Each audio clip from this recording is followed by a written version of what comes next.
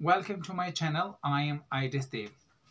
Today I'm going to talk about the Ars Poetica by Horace.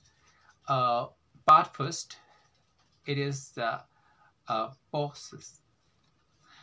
Poem must have organic unity according to the Horace. The poet is free to indulge in his fancy and he must not create monster figure and must not lapse into the absurdity. All the poet should have good knowledge to write a poem. There must exist a harmonious relationship between the part and the whole. The subject of the poem should be chosen wisely, and the subject of the poem must suit both style and the power of the poem. A wise discretion must be exercised in the use and the choice of words. The poet has liberty to coin the new verse and revive the old one, but this should be done with much discretion. The subject of the poem must suit both style and power of the poem.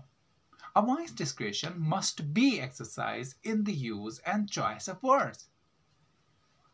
The poet has liberty to coin the words and to use them in his poetry. Language Language is like a tree, and words are like leaves, and which wither every year and succeeded by new ones, and the poet should ponder on the usage of language during the writing. During the writing, the poet should revive the absolute word and give them accuracy. But, poem. According to the Horace, plot should be based on the familiar story, new themes must be invented. For the successful treatment, the poet requires great skills and arts. In the characterizations, uh, the poet must be true to his poetry and character must be consistent. And the dramatic style must also be different in accordance with the character's mood and circumstances. The dramatists must know what to represent and what to report to the audiences. Play shouldn't have uh, more than uh, three characters. The fourth character should never be introduced and the chorus should be the part of the play. The art of poetry requires incessant toil.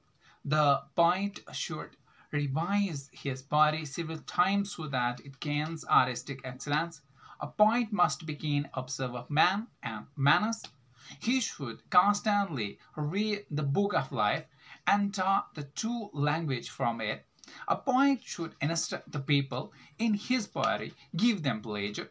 For the sake of pleasure, he shouldn't himself indulge in absurdities. Writing the poetry, he should mix poetry with the profit.